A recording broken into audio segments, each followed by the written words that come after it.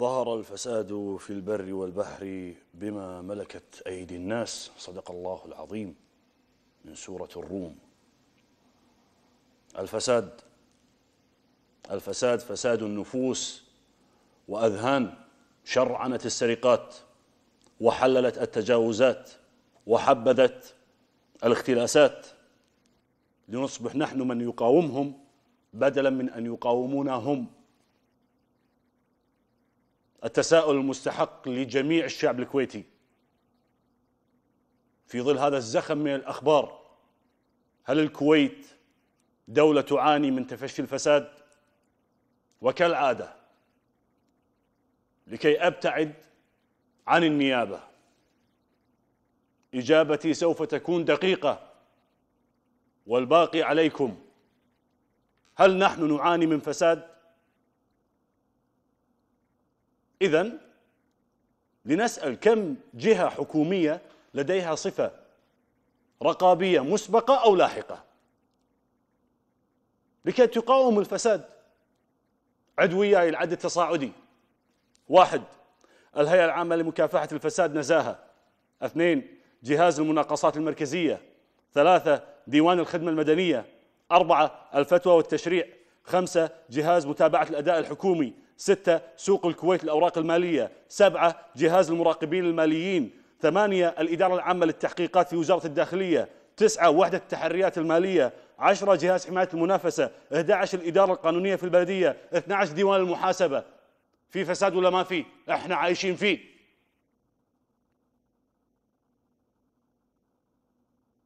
أكرر الفساد فساد أذهان.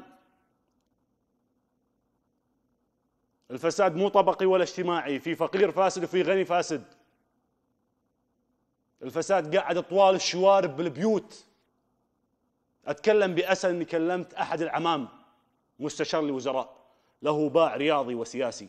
عضو مجلس إدارة في أكثر من هيئة ومؤسسة. مع احترامي الكامل لضيوفي الكرام الذين أتشرف فيهم تواصلت معاه يوم الخميس. قلت له العم ودي تكون معي بالحلقة عشان نتكلم عن قضية تفشي الفساد بكل أنواعه سرقات غسيل أموال غيره. قال لي محمد أنا مطلق الإعلام والرياضة والسياسة من 2017 تضايقت قلت له عمي ليش؟ كان يقول لي من مارس 1991 وإحنا نكرر ستشرق وما نشوف غير الكسوف. أوجه كلامي للعمام الذين ابتعدوا وقعدوا بالبيوت إحنا نقول الوقت وقت شباب لكن والله ما نغنى عنكم.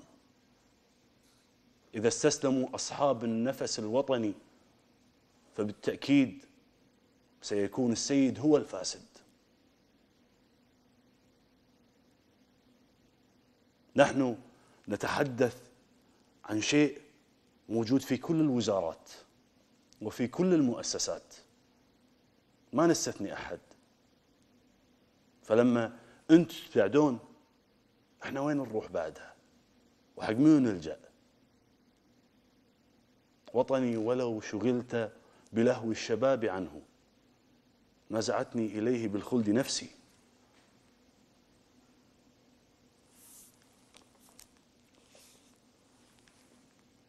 ارحب بضيوفي الكرام. الذين شرفوني بأن أتناول هذه القضية بشكل عام. الفساد في